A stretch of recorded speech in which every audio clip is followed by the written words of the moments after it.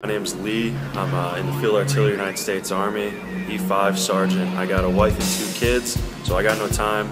Just coming back from deployment. Weight 225 over there was fat, had no abs. I came to Danny Bruce. I was like, what's up, man? Like, I need to get back in shape.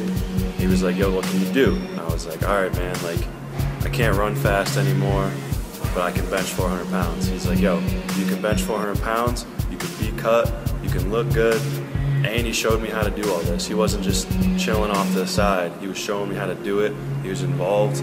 So if you guys want to get ripped, look good, and be strong all at the same time, perform like an athlete,